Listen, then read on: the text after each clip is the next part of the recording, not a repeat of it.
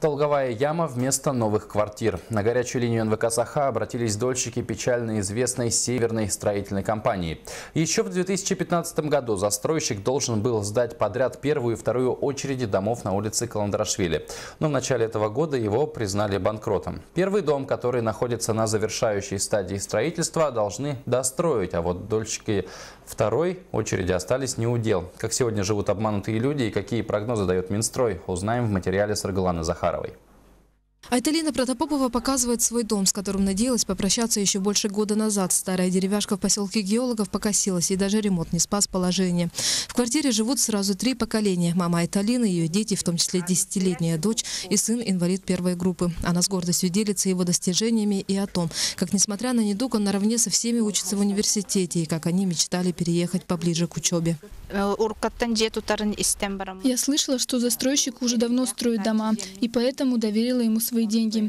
Надеялась на завершение строительства, но вот уже второй год жду своей квартиры. Мне понравилось расположение дома. В этом районе учится в политехническом лицее моя десятилетняя дочь. Сын инвалид первой группы, учится в СВФУ. Думала, что им будет легче добираться до учебы. Но сегодня надежды рассыпались, как карточный домик. Сына сняли с очереди на получение квартиры. Строительство, в которое вложилась семья, остановилось. Отец, который тоже ждал заслуженное за почти 50 лет работы в сфере здравоохранения жилье, не выдержав все потрясения, скончался в декабре прошлого года. Чтобы вступить в долевое строительство на Каландарашвили, я продала свою квартиру, взяла сразу несколько кредитов в разных банках.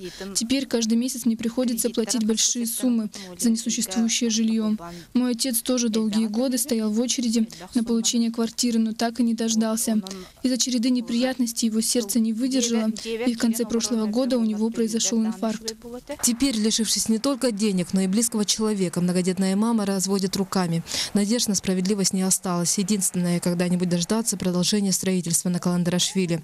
Но и здесь не все так гладко. Там всего заключено 65 договоров долевого участия. Из них 42 гражданина включено а, в реестр граждан, чьи права нарушены.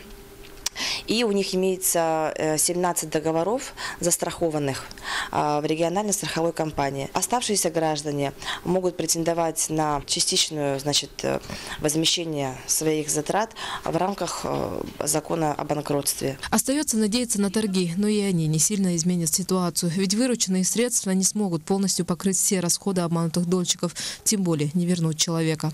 Сарглана Захарова, Андрей Секретов, Владимир Павлов, НВК «Саха», Якутск.